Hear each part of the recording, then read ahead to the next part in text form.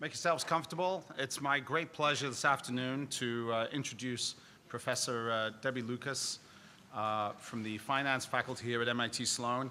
As uh, most people of our generation probably have this indelible impression of the last oh, decade as being cast by the uh, apparent collapse of the mortgage market in 2008. And as much has been written about that, uh, Professor Lucas has spent a substantial amount of her career investing in understanding the government role as it intervenes in varieties of financial markets. And she's here to solve all of these problems with a very simple formula, which she promises to reveal right at the end of her 45 minute presentation. Welcome, Debbie Lucas.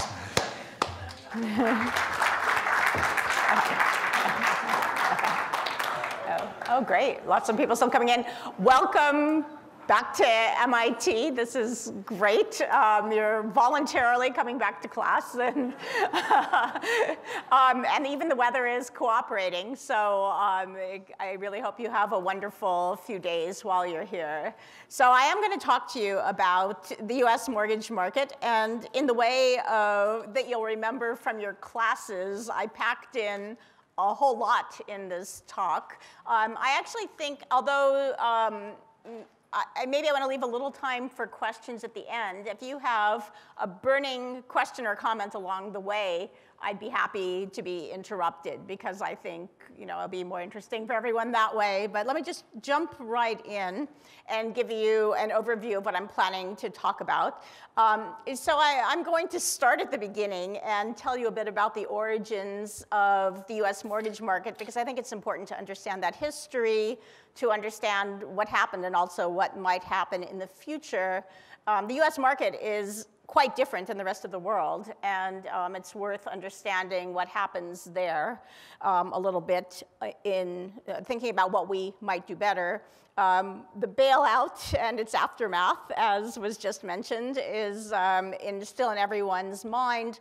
Actually, a lot has changed, although there hasn't been any fundamental reform yet, and I want to talk a bit about that, and then go on and um, get your thoughts on some of the leading reform proposals that are out there, which hopefully um, will be a more sensible way forward for this market that will avoid some of the problems of the past. So um, uh, I want to start by saying that the federal government has an enormous footprint in the US mortgage market, and it's had a very large footprint for a very long time. In fact, that history dates back to the Great Depression when the rate of um, people losing their houses was spectacular. You know, it, was a, it was a huge crisis for American society. We talk about the Great Recession um, and a lot of people losing their homes, but it was nothing like the Great Depression. And so out of that arose a real imperative to create institutions um, to make it possible for people to get mortgage credit in a way that wouldn't be as susceptible to economic up and downs. So um, on this slide, I have a bunch of abbreviations that only those of you um, familiar with mortgage markets might know, but the Federal Home Loan Banks, the FHLBs, were created to funnel capital into the mortgage markets. And in fact, they still do. Today, they um, provide advances both to commercial banks, savings and loans. They're kind of an all-purpose government backed entity which stay under the radar. And I'm going to leave them under the radar. I don't particularly love them, but we'll leave them alone. Um, the Federal Housing Administration, the FHA, um, was perhaps the main agency that came out of the Great Depression that was tasked with making sure there was a reasonable supply of mortgage credit. Um, one thing I have emphasized there is that they actually invented the 30-year fixed-rate mortgage. So lest you think this was a private market innovation, it wasn't. It was a response to the fact that one of the reasons that people had lost their houses was that many of the mortgages were short term, and then they would have a balloon payment that came due. Well, during the, uh, during the Depression, the uh, mortgages would come due and banks wouldn't roll it over. So that was part of the process of people losing their homes. And so this idea that if you had a 30-year fixed rate, that would create um, much more stability, much more predictability, and that came out of FHA. Okay, so Fannie Mae was also part of the government, actually part of FHA. Um, it was pulled out of the government for reasons that won't surprise any of you, basically budgetary. They wanted to get them off the books, so they privatized them. Um, they did keep a piece of um, what Fannie Mae was doing, and that's now called Ginnie Mae. So Ginnie Mae securitizes government guaranteed mortgages, whereas Fannie Mae, and then later its cousin Freddie Mac, um, came about to create liquidity um, in the non-explicitly guaranteed mortgage market. Okay, so anyway, that's the kind of, that's um, where we started.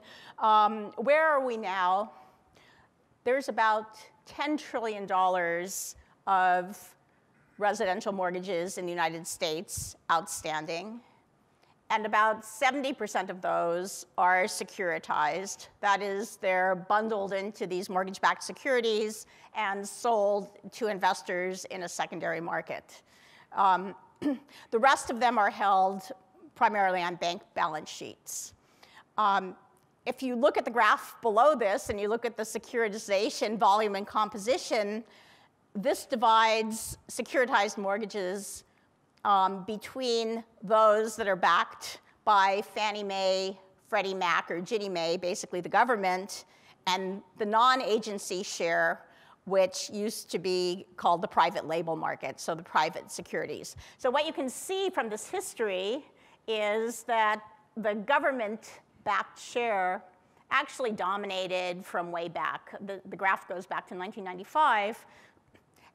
As consume, as investor confidence in the housing market skyrocketed during the run up in house prices, there was large growth in the private label market. A lot of private companies got into the mortgage securitization business. This is where you hear about maybe those mortgages weren't so good, maybe they shouldn't have been made in the first place, but in any case, um, private investors were willing to guarantee and buy them. Come the crash, the private label market disappeared and it hasn't come back. And post-crash, basically the whole market, there it says 98% is these government, are these government-backed um, mortgages. So the big question is, how do we, a capitalist society, move from having an almost entirely governmental mortgage market back to one where there is some private capital um, at risk? Okay, and so that's, that's kind of the big subject for today. Okay? Okay. Um, okay. Um, I just, I know, uh, how many of you, how many of you have uh, some finance background?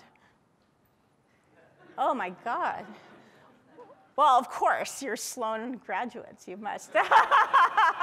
That's great. So, um, so for those, I was, I was going to then bring it down to say, well, how many of you own a house? And then I was sure, or, or have a mortgage, and I thought everyone. But um, I'm, so I, I wanted to make it accessible. So some of this might be things you already know, but let me just quickly describe it. So I, you know, we're going to spend a lot of time talking about Fannie and Freddie and I wanted to just throw in a slide so that we all knew exactly what happens in the market today. So these, these securitized mortgages that are about 70% of the mortgage market, um, the way it works is you go to your bank or you go to a mortgage broker, you go online to Quicken Loans, and you do reams of paperwork, and they say, okay, you're approved for a mortgage.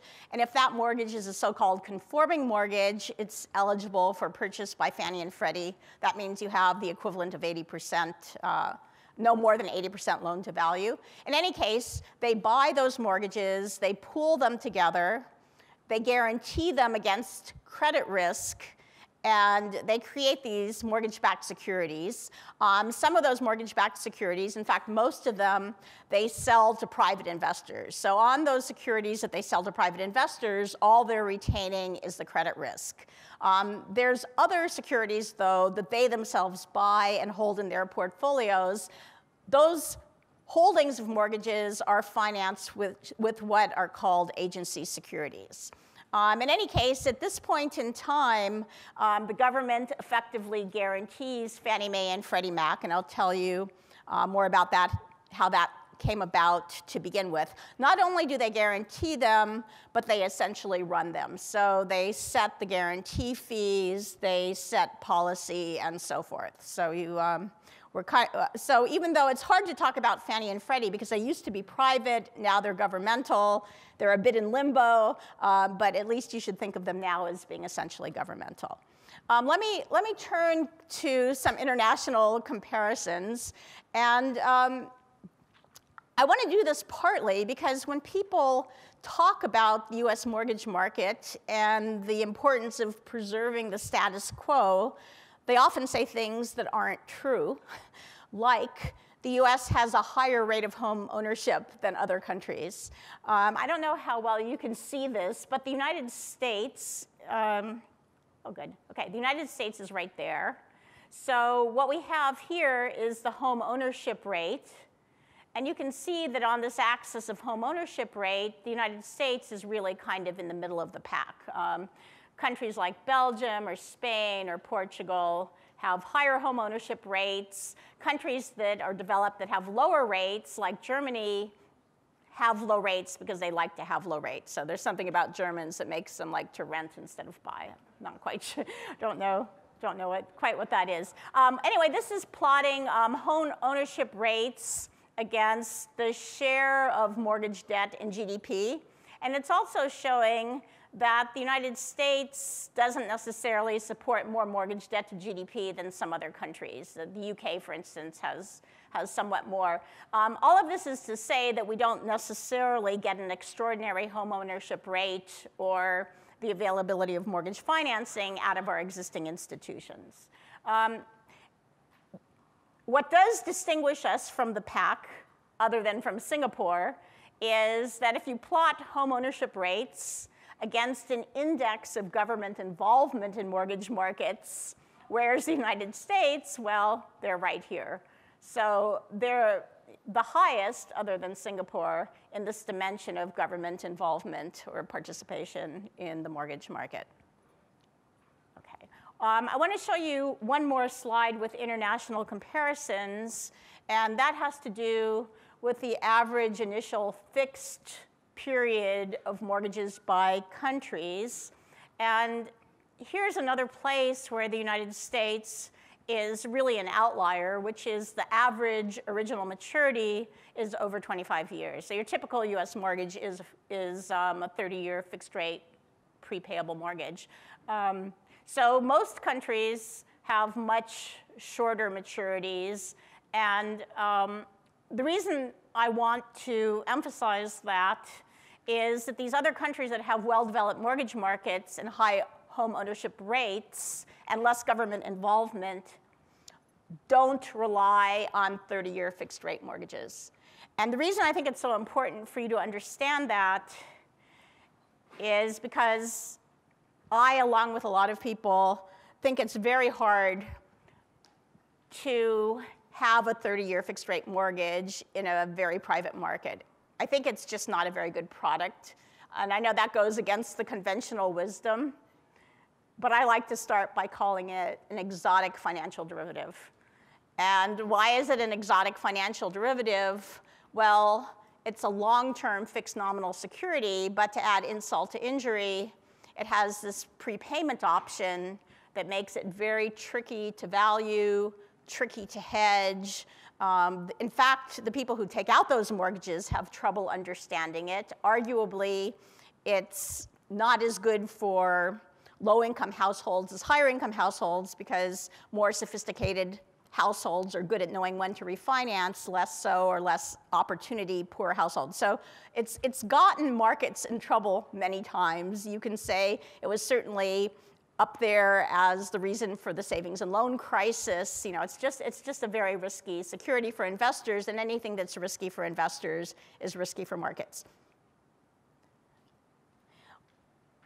So um, I'm mentioning that partly because I think it's interesting to contemplate um, really moving away from the kind of market that we have today but the kinds of alternatives that I'm going to talk to you about are going to feel like maybe small perturbations on what we have now. And I guess the reason I'm choosing to do that is because I'm not sure that as a country or as a political system, we're really willing to give up on these 30-year fixed rate mortgages. So I think in terms of thinking about realistic solutions and where the market might go, it's good to remember that if we did move to a more radical departure from what we have now, there might be fewer 30-year fixed rate mortgages offered, which would be fine with me, but I don't think it would necessarily be fine with our elected representatives. Okay, okay. So let me um, kind of move forward to um, what happened, and you know what happened. Um, but to me, what happened very much starts and ends with the collapse of house prices. So this is a, a plot of real US house prices going back to 1980. Um, the peak is in about 2006, and then you have, of course, the subsequent crash that led to um, the financial crisis and the, the Great Recession. Um, something that's interesting in looking at this picture in real terms is you can see that actually house price appreciation was essentially zero from 1980 through the mid 90s. Um, then it did start to take off and it really accelerated in the 2000s.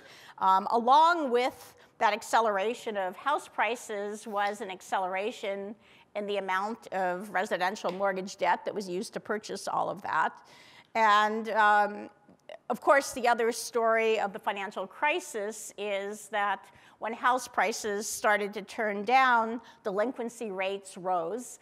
Um, and I want to emphasize that it wasn't just a subprime crisis. What I have here is the top line are default rates over time, going back from um, I guess 2005 to 2015. The top line is FHA. Um, those are the government-backed mortgages, which are essentially subprime mortgages. They can have as little as um, 3% down payments. Um, below that is Fannie Mae and Freddie Mac. Those are, were thought to be pretty safe conforming mortgages. But you can see that during the crisis, even those safe mortgages had default rates up around 5%.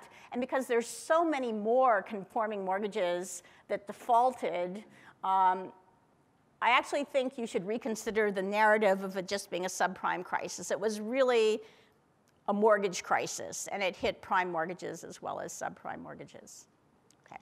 Um, so it was, in fact, those lo losses on prime mortgages from high default rates that led to the collapse of Fannie Mae and Freddie Mac. Okay, um, this is sad picture is the stock price history of Fannie Mae over this period. If I had gone back longer, it would have been a happy picture if you were a Fannie Mae shareholder. They had higher returns than almost any other company in the S&P 500 for a long time. They really were extraordinarily profitable. Um, that, that growth had slowed down uh, by the mid 2000s, and then of course it crashed um, in around 2008 when they were bailed out by the government. Um, something else that's interesting to note on this slide, well, there's several things, but one is that they're not dead yet. um, you can see there's still a little, if this were an intensive care unit, um, you can see a tiny bit of life in uh, Fannie and Freddie even recently. Um, and that, who knows what that is? What are, what are, what's the deal there? This is their common stock. Anyone? No. This is their, so there's all these lawsuits that you must read about periodically in the Wall Street Journal. Um, when, when the government took them over, they put them into conservatorship, not receivership. So the legal distinction, I guess, is had they put them into receivership, and they still have the right to do that, but they haven't, receivership would have wiped out the claims of the common stockholders. But conservatorship is this kind of weird legal status, and I'm not a lawyer, so I can't tell you the details, but what it does is it gives them hope that they could somehow, again, have a claim on some of the assets of Fannie and Freddie. So there's still, um, so I would say this is, the value in this stock is a bet that some court somewhere is going to rule on behalf of the stockholders. So far, no courts have ruled on behalf of the stockholders. Okay. Um, what's still true of their securities is that they're still rated AAA the, despite the fact that their stock is worth nothing. And that's because of um, the legislation that basically said that the US Treasury was going to support Fannie and Freddie through something called senior preferred stock purchase agreements. Okay, so there was this big piece of legislation in 2008, the Housing and Economic Recovery Act. As I mentioned, it put them into federal conservatorship that basically transferred control to their regulator and to the Treasury. Um, the deal with these preferred stock purchase agreements is that whenever they need money, as they did very badly in 2008, the Treasury purchases senior preferred stock, and that provides capital to the GSEs. Um, so um, basically, in 2008 and a little bit thereafter, um, they drew about 250 billion on those lines, um, and those total lines from the Treasury are capped at 455 billion.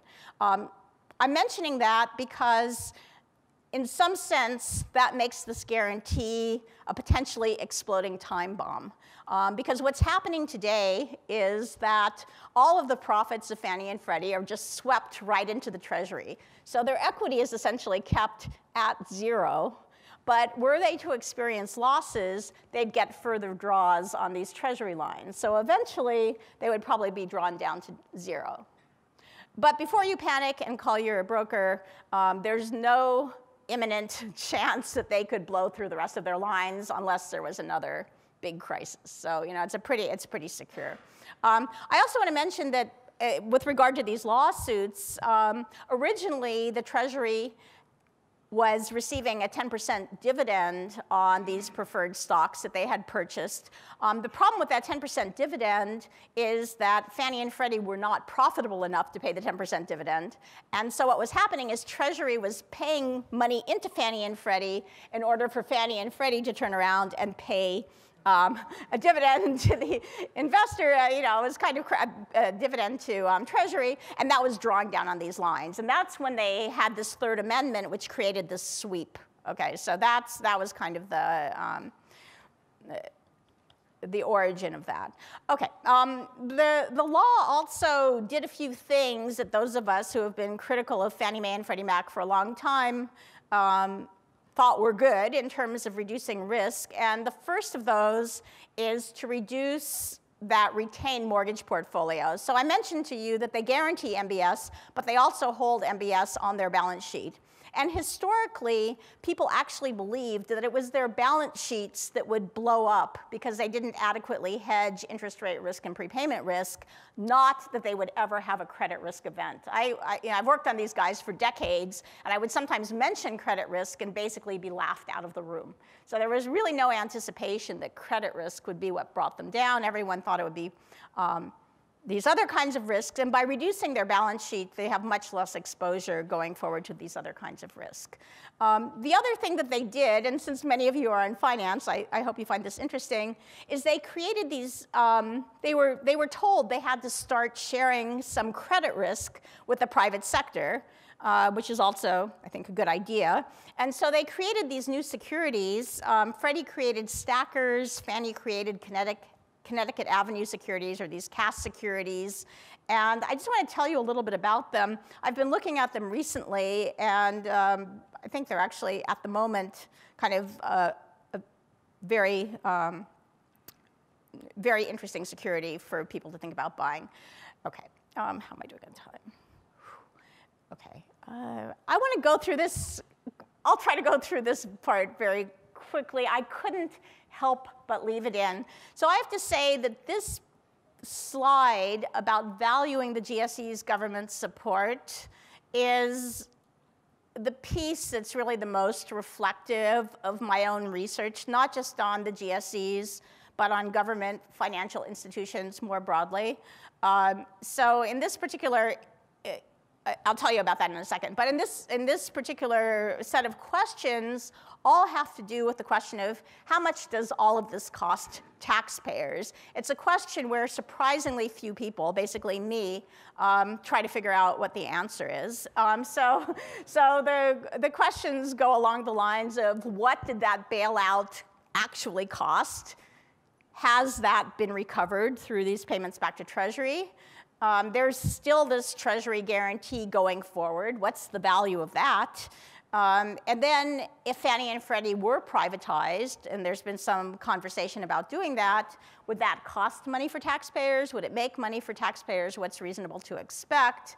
And then there's this whole question about um, the current amount that borrowers are paying on their mortgages. Those rates are being set by policy, not by markets. So it's natural to ask how subsidized are these mortgages currently.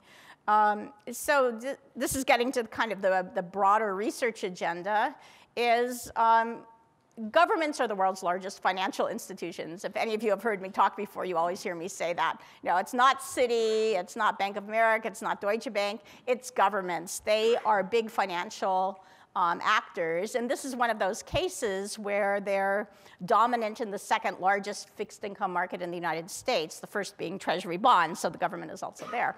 Um, so any of these reform proposals would actually involve massive transfers of risk and resources between the public and private sectors, both balance sheet assets, and then more importantly, these kind of explicit and implicit guarantees on the credit risk. So we need to have some estimates of what these things are worth, um, it's a little challenging. Thank goodness we had Bob Merton to teach us about valuing contingent claims and the fact that risky debt is like a put option, because really all my work is just piggybacking on Bob Merton's famous ideas in that, in that area. So um, I won't show you any options pricing formulas here.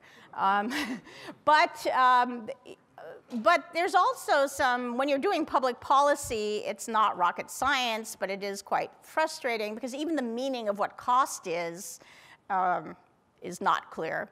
You know, it's, it's complicated. Okay, so if you read the popular press, you would conclude that, in fact, the public has recovered the value of the bailout of Fannie and Freddie because if you just add up money coming in and money going out, more money has come back to the Treasury than has gone in. Um, but that's naive for two reasons. One is there's no risk adjustment, no discounting. You would have flunked your first finance class. Um, so, you know, that's, that's a problem. But, but, but a more fundamental problem is that you can never think about cost on that kind of a forward-looking cash basis because cost is an ex ante idea. It's a question of how much was the insurance provided by the government worth at the time it was granted. Now, and the reason that's important is because we only saw one outcome, and thank goodness it was a good outcome. Markets basically recovered over the next um, decade or so, and I'm happy they recovered, but unfortunately it just reinforces bad habits of thought because it makes people think there wasn't really a cost when the cost should have been at the time um, when it happened. And so um, actually, um, I like the number for cost. If you want to think about at the point of the bailout, if you look at the value of the support at that point that was granted, um, CBO estimated on a fair value basis that was about $291 billion. Full disclosure, I was working at CBO then, so I'm so CBO and me agree that that this that this was a good number. Um, and so by that kind of a measure, which is taking into account both risk adjustment and the bad outcomes that could have happened, um, they're not close to having really recovered the full cost of the bailout. Okay. Um, in terms of the value of the, of the backstop going forward, um, if you do a kind of a fancy contingent claim analysis, um, I come to the conclusion that actually the sweep of money that's going to the Treasury more or less covers the insurance value of what they're providing now, so there's not a lot of excess value um, being generated. So if we think about um, privatization and whether it would cost money for taxpayers or make money for taxpayers, um, I think that basically there's not a lot of value there unless the government, along with the privatization, reinstitutes underpriced guarantees or reinstitutes the kind of duopoly power that Fannie and Freddie had before the crisis. You know, I, I don't think their systems are worth too much by all accounts. Their, their computer systems are aging. Um, their current pricing my analysis showed wasn't making a lot of money. Um, so I don't think there's, I think it would be wrong to anticipate that this is going to be a bonanza for taxpayers, but of course privatization could have a lot of indirect benefits that are very valuable, um, greater transparency, more equitable pricing, more innovation in mortgage finance and, and so forth. Um, as far as how subsidized Fannie and Freddie guarantee fees are today, that's a question I'm working on now. I'll say I don't know the answer.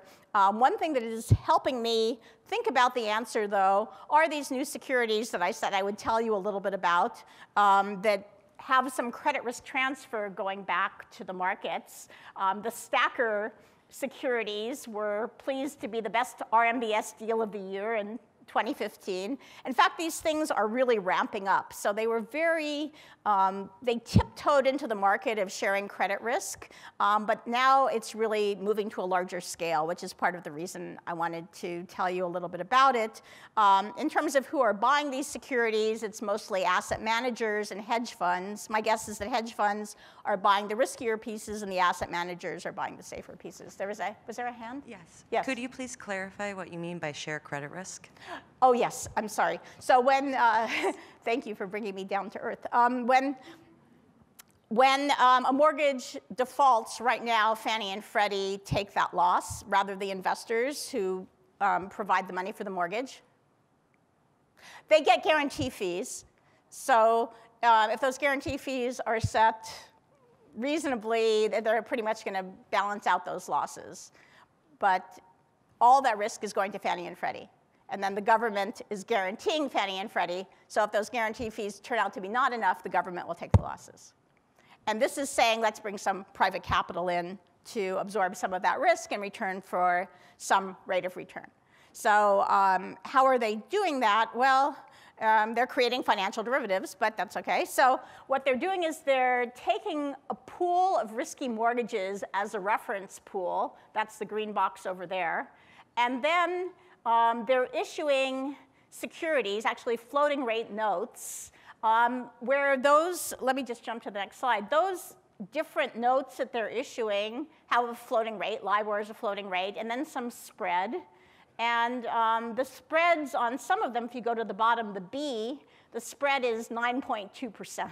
Okay, so why are they paying LIBOR plus 9.2% on those B securities? Well, they're paying that much because these things are structured to absorb the default losses um, from this pool of reference mortgages. So that Class B note has is in a first loss position, and it takes losses of up to 1% of the value of the reference pool. Then the next class of securities starts absorbing losses of those losses accumulate between 1 and 2.25% and so forth. So as you go up in that class structure, you get to safer and safer places. Um, Fannie, uh, Freddie Mac keeps the class AH tranche. So the mortgages in this particular example are about $32 um, billion worth of mortgages.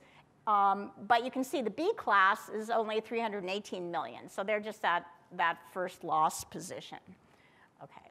Um, so the idea here is that these securities get a high rate of return, um, but, but they're taking a bunch of credit risk. And when um, Fannie and Freddie do the analysis of what would have happened during the crisis had these securities been out there, um, they show that in fact, um, all the losses that they took would have in principle been absorbed by those B-class securities and then some of the lower mezzanine securities. So they're claiming that there's a meaningful amount of credit risk transfer um, in these securities.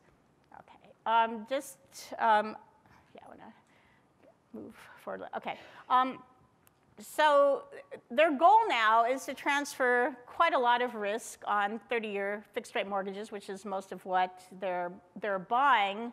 Um, I, I think I don't want to get into this too much, but I, I guess by way of saying um, it's interesting from an investment perspective, in traditional Fannie and Freddie manner, they're saying um, one thing to the government and one thing to investors. Um, what they're saying to investors are, Um, these things are a pretty good deal, and what they're saying to the government is we're transferring a lot of risk, and so you know which, which is it? So I was I was trying to look into that, and I would say I think it's probably true that they're not transferring as much risk as they say they're transferring, which is why I think these might be um, still a pretty attractive um, purchase for investors. Um, so first of all they pull out the riskiest loans. They pull out loans that have, they season a little bit, so they pull out the ones that have already defaulted and so forth. So there's, there's a bunch of exclusions that pull out some of the riskier loans. Yeah, questions like that. They're doing so much of the transfer. Are, are we saying the G fees are going to drop, or, or what, is that a question still up for debate? Um, that's a great question. And in fact, Okay, so here's what, okay, I, I, love that question. The question, oh, sorry, there was supposed to be a microphone there. The sorry, question was, um, well, now that they're doing this risk transfer, will it cause the G fees to fall? My answer is, I think au contraire, because right now the G fees are set by policy. And the tension always is there's, there's a lot of political pressure to keep rates low.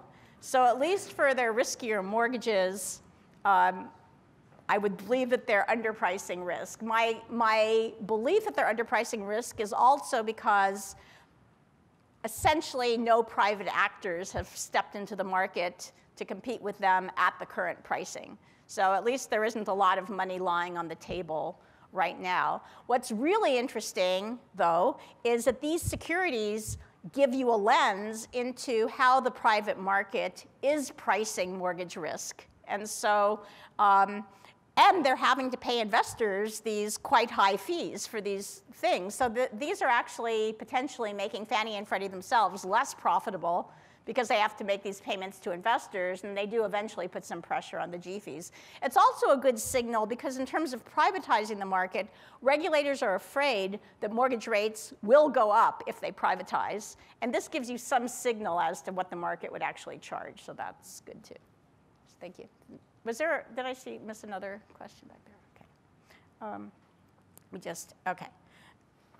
Okay, um, so also if if you guys are into this and you simulate out prepayment and amortization and everything, it seems like these securities amortize in a way that probably pulls them out from some of the risk too. So the bottom line of my uh, very quick analysis is um, there's about 16 basis points of risk priced by the market here, but only about nine basis points of that maybe is sold to the market. So um, I think they're still retaining a lot of risk. But more fundamentally and more problematically, um, there's a question of whether this kind of structure would work in a serious market downturn.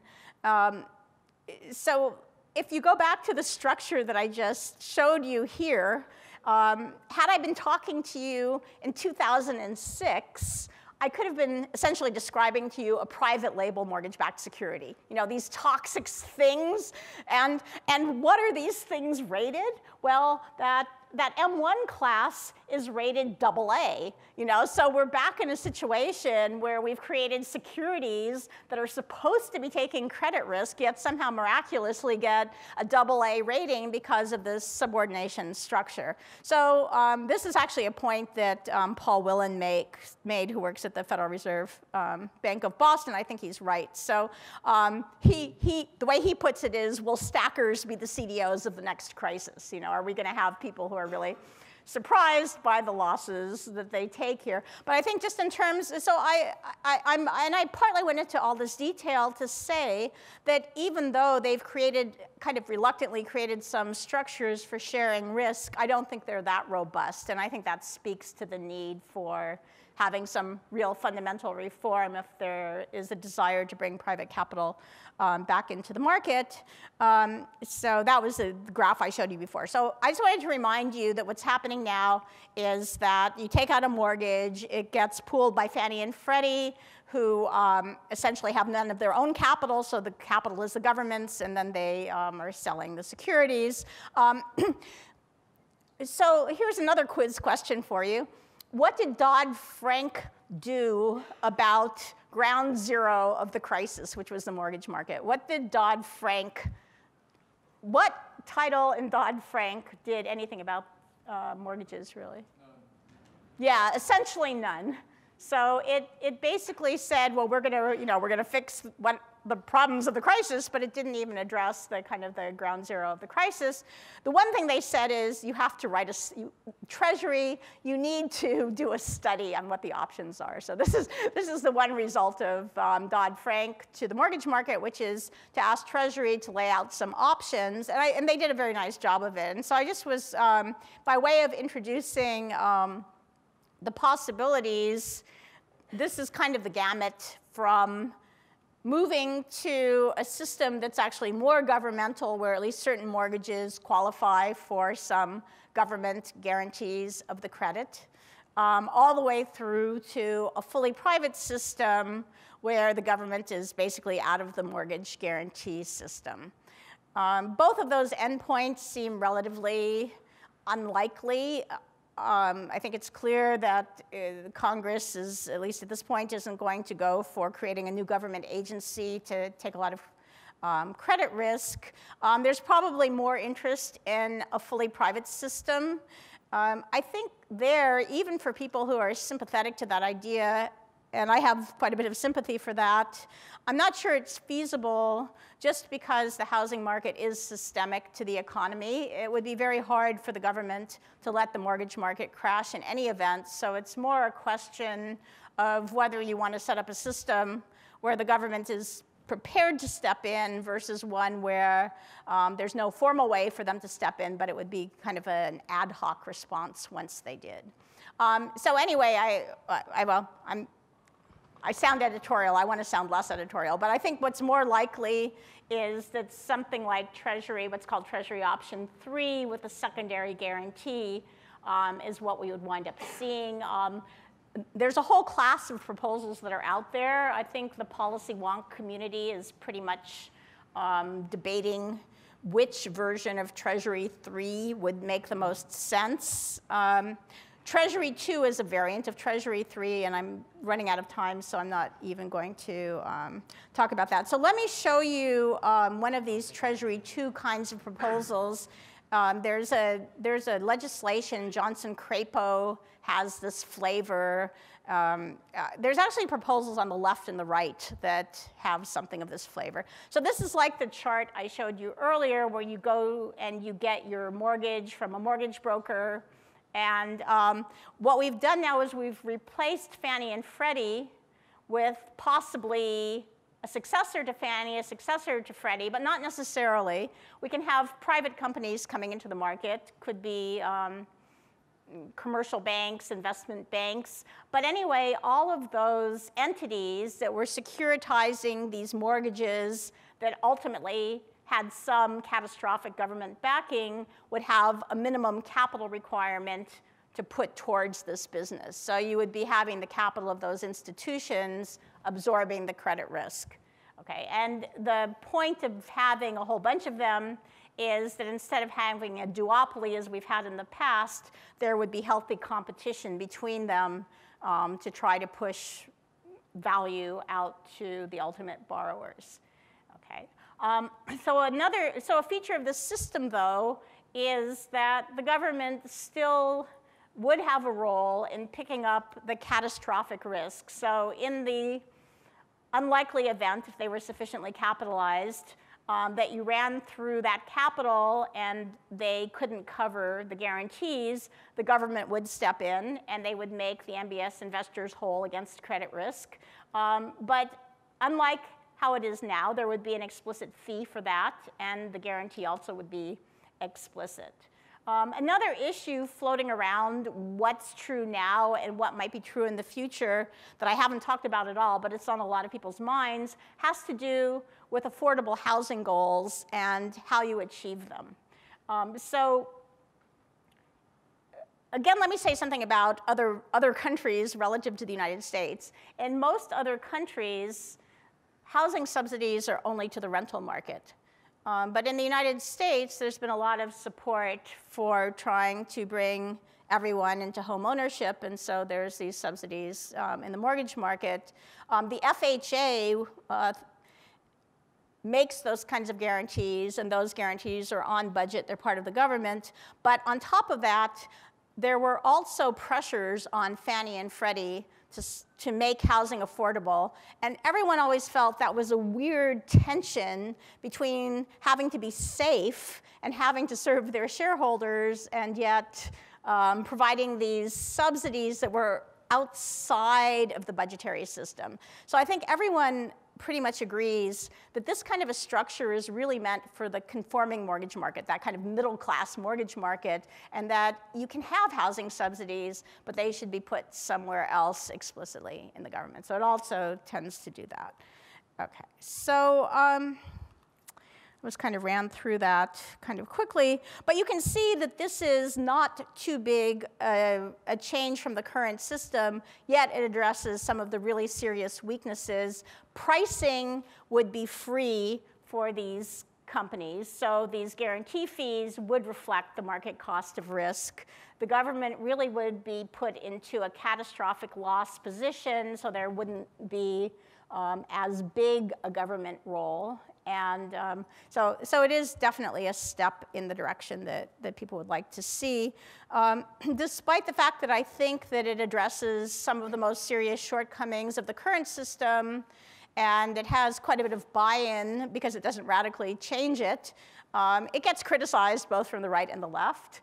Um, on the, this is just a microcosm of everything else you see in Washington these days. In, um, from the right, uh, there's people who just don't want to see a government role. They want the government out. So for instance, Hens, uh, Representative Hensarling has a proposal that basically gets the government out of the market.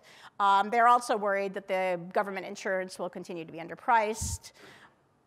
On the left, um, there's a lot of pushback against taking government control out of the mortgage market. They think it would be anti-housing because there'd be a good chance, as per the question earlier, that mortgage rates would go up. Um, there's also a lot of suspicion, unfortunately, or fortunately, who knows.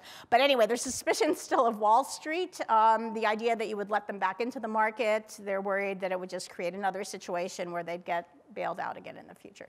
So I don't think um, that anything is going to change too quickly, but, uh, but optimistically, I do think that there's some pretty good plans out there. So if, if things change and it becomes possible, I think, I think it could be a lot better. Larry. Which of the changes are subject to shareholder approval as opposed to legislation change? Okay. Um, the question was which of the changes are subject to shareholder approval rather than legislative changes? My understanding is at this moment, shareholders have zero control. Um, some changes can be made administratively. So the regulator of Fannie and Freddie is FHFA. They basically call the shots. They can do, they can do a lot of things. They've done things like control how fast these new securities have come onto the market and so forth. The government is deciding what's happening right now, but it would take legislation to make a major change. Yes. Under the FDIC system, banks pay a fee to FDIC for the insurance, and the insurance is limited to something like $100,000, or maybe it's a bit more now. Could we learn something from that and use that in the mortgage market? Yeah, I would say that the proposal I showed you is very FDIC-like.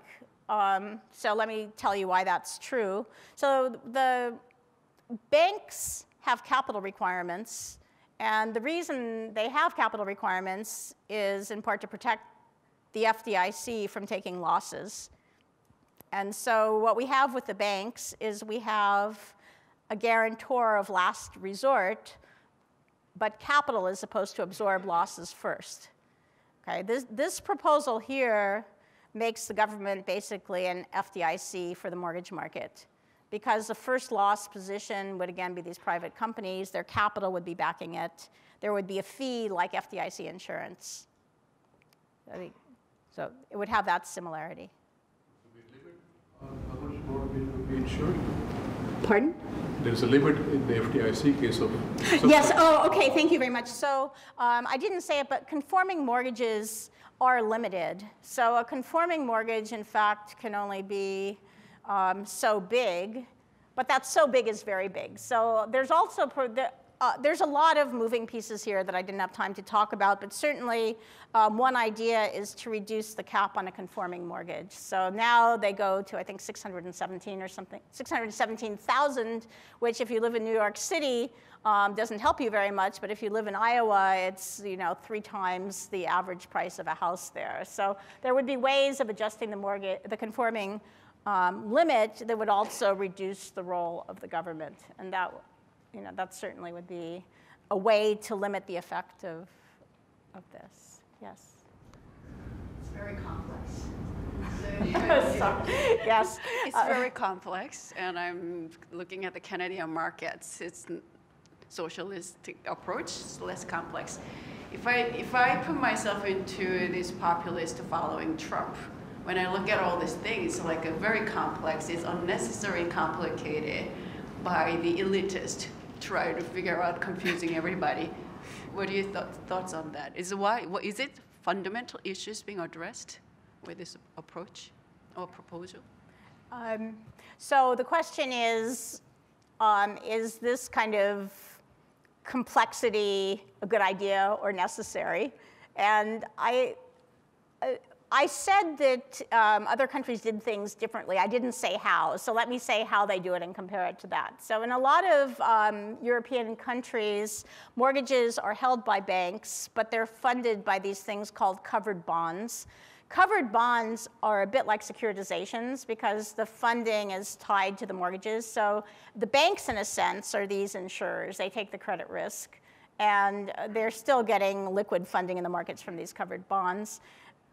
I personally think I prefer that system um, for a reason that isn't because I'm an economist, but just watching the world, which is I think the problem with the US system is that by putting housing finance outside of the rest of the world of finance, you create a lightning rod for political manipula manipulation. So even if we say today we're going to move away from having a government market, if you create some entity where all the housing finance is going through that, it's just so easy to step back and put in all kinds of rules and weird complexity. Um, I know that's not exactly what you're, you're asking, but I think we do have a system that's unusually susceptible to kind of manipulation. I think in the European system, certainly Europeans support their banks. They bail them out every few years. So I'm not at all saying, I'm not suggesting that the rest of the world is so great, but I think that if you put housing finance and diversified it with other things, you, what you really asked me is, does this justify the anger of Trump people? And I just can't see it. So I'm not going to say that the Trump people are right because the mortgage market is complicated. Uh, Yeah. Yes. Professor, could you share your view on interest rates on mortgages and stuff? I'm just curious, when do you see it going up to 10%, 12%, and especially with all this uh, risk and how you're diversifying it? Um, no, I don't see it going up at all. And I think, in fact, that the concern that rates would go way up if the market were privatized is not a valid one. So, one clue that you get on what might happen to rates in a private market is to look at the rates on non-conforming mortgages, particularly jumbo mortgages, which are above the conforming limits.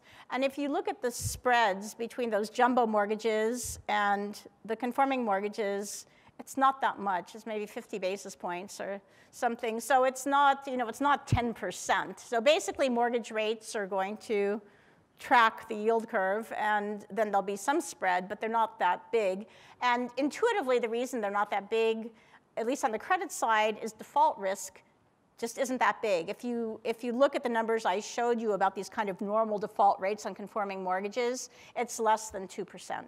And, and you know, mortgages, what's ironic about having such a big government involvement in mortgages is mortgages have to be your favorite asset for what you should be able to borrow against in a free market. You know, they're, they're collateral, they don't have feet, they don't go anywhere. So, you know, if, if, if, a, if a market is ever going to work, it should probably be a mortgage market. And those, the spread shouldn't be that high. There isn't that much risk. There is also some spread, though, because of this prepayment option. So we're all paying for the prepayment option because it's priced into, priced into the mortgages. But that's also not that much money if you price it out. Oh, sorry, there was a question over here. Oh, thank you. Uh, thank you for walking us through all this stuff. Um, I just have a quick question. Um, so recently, I read that Fannie Mae kind of, you know, um, they, they, were going to in their desktop underwriter system. They kind of wanted to expand the debt-to-income ratio up to 50 percent and without you know requiring other compensating credit factors. Right. I think this is very likely to introduce nonlinear credit factors going forward. So I'm curious, like, what's the reason behind this change, and uh, did they learn nothing from the crisis? so um, that's a great example of my fear when you have the government controlling the guarantee fees without any reference to market prices. So they do have some risk adjustment in the fees, but in the way of governments, it's not complete risk adjustment. So there's some cross subsidization between uh, the different groups of borrowers. So if you're pretty safe, you're probably paying too much, and if you're risky, you're getting a bit of a subsidy. And they are pushing to liberalize, um, but let me give the other side of it to be fair. So if you talk to um, someone like Laurie Goodman, who's uh, from, she was at Amherst Securities, now she's at the Urban Institute. She would argue that actually the, the G fees, the guarantee fees right now on average are too high. She would, her analysis says these prices are high, the more, as, as you saw, the risk has gone way down. Um, that really, um, there is room to take more risk. And, and there is some evidence of that. Like if you look at the trend in the FICO scores of people who are getting mortgages, they've been going up significantly. And so there is, I think, a valid argument too that it has become actually quite hard for people who don't have squeaky clean credit or don't have a conforming property to get a mortgage at all. I mean, to me, actually, what's, what's actually quite sad about having a government-dominated market is it's a much more rule-bound market. So if you're poor and you can get an FHA mortgage, that's great. But if you can't right now, there's no other alternatives. So I mean, I guess you can look at it either way. So some people think, well, they should loosen the rules. And that's what you're seeing in the, that particular rule change that you're looking at. Okay. Oh, there's back there. Yes, th thank you very much. Very interesting discussion so far. Um, so can you elaborate a bit more about this definition of uh, conforming versus non-conforming? And to follow your example, uh, in some geographies, this is three, the upper limit is three times the average median house price. In, in some places like New York, it's not enough. So who determines what's actually conforming? Who sets the definition of conforming? Um, so um, the government, um, but there's some of it is by statute and some of it, it, has some policy flexibility. But let me say what it is. So the main follow on, follow on comment: Sorry, Should it be? Shouldn't it be a function of the average median price price point in the area, as opposed to just some arbitrarily set governmental number? So it probably should be, but it isn't. Um, there is some, there is some regional variation. So in fact, in, during the crisis, they increased the limit in some high-cost areas, but the, the slope of the limit increases is less than the slope of the property value increases. Um, there's actually, I think, more variation in the FHA guarantees, which is linked to the median house price in, in an area, but this is pretty flat. But um, the question was, what is the definition of a conforming mortgage? So to me, the most important thing about a conforming mortgage is that you need a 20% down payment or private mortgage insurance where you're paying someone else to take that that credit risk. And that's why when you looked at those default rates, they're typically not very high because you have this 20% buffer. So it really takes something like what happened where you had house prices falling 30, 40% um, to, to have significant credit risk. And that's why people traditionally weren't so worried about credit risk. There's, but then there's this cap, which is the maximum um, amount you can borrow in a conforming mortgage. And the idea there was to keep the support for the middle class. But in a place, uh, in many places in the United States, um, houses are still $150,000. So you certainly don't, you know, so they could use to change those, change those rules. And yeah. This will be our last question. Okay. Are you, or would you be interested in looking at the eventual relationship, because it just came up in the question of the debt ratio to assumption of how much you can carry. The Washington way, I would predict, is that we'll get an exclusion for student loan debt interest rates in calculating that ratio. Because they'll just create that waiver and all hell will break loose. But the next crisis outside the mortgage industry is going to be in the student loan area. And that's an area where no one is looking at the correlation between when that happens and any eventual solution on the mortgage side. Yeah, actually, people are looking at student loans, including me. Um, and I, in some ways, it, it's going to be a different kind of crisis because student loans um, are largely, or almost all, almost all the risk is in the government, so it's not going to bring down the private financial system, and that's the big difference. So um, if the question is, is the government likely to lose a lot of money? Um, I think the answer is yes. In fact, they already are. Um, they may have already averted anything that's going to feel like a crisis. It's going to feel more like a bleed of the Treasury because they moved to something called income-based um, repayment, which basically limits, allows people to sign up for a payment plan which limits the payments to a fraction of your disposable income, and then there's forgiveness after 10 or 20 years. And so if you, um, by the way, that's another example of a government program that could have been better constructed. Because at some point, um, if you borrow enough and you do the math, you realize you might as well borrow as much as you possibly can because there's no way under the rule for paying it back that you will ever pay it back. Um, so it, it, the, I'll say one good thing about the Trump budget. There's actually a proposal in there to restructure that program in a way that is more rational. But anyway, the Department of Education is worried about it, but they're more worried about students um, defaulting and they're looking for, for ways around it. I think it'll be a different kind of crisis. Okay, okay, good. Um, oh, I need, okay, thank you very much. Thank you, thank you.